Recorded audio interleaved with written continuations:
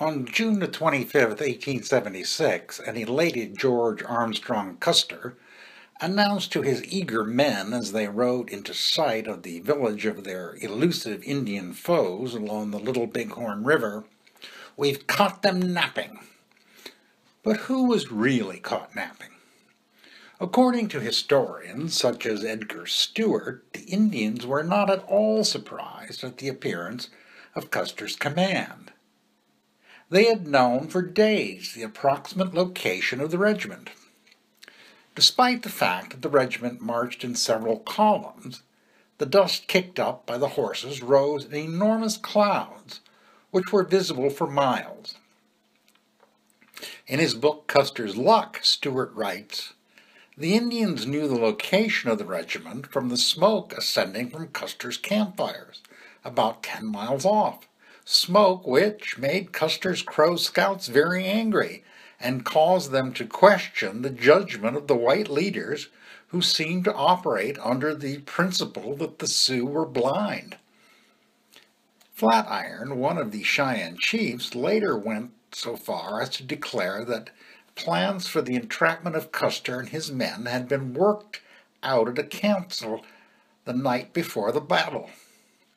The Indians saw Custer's five companies riding along the bluffs toward the lower end of the camp and knew they were seeking a ravine or coulee by which they could descend from the bluffs to the river, cross, and attack the village. They also knew just how far Custer would have to go before reaching the ravine, which would take him down to the river and they could calculate almost to the moment just how long it would take him to reach it.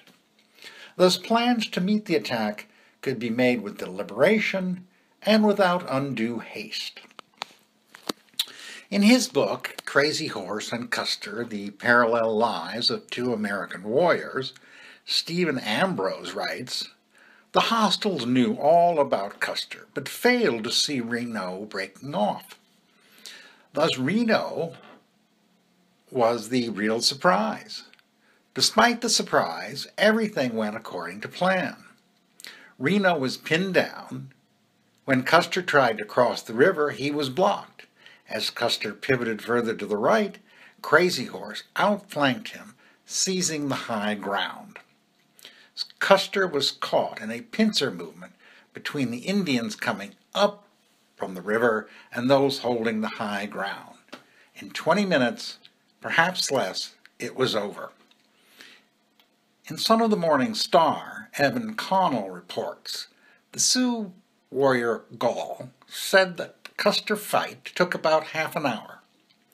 The bluecoats were dismounted, he said, when the Indians rode over them.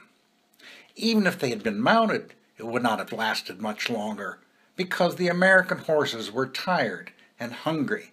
They were so hungry that they ate grass during the battle.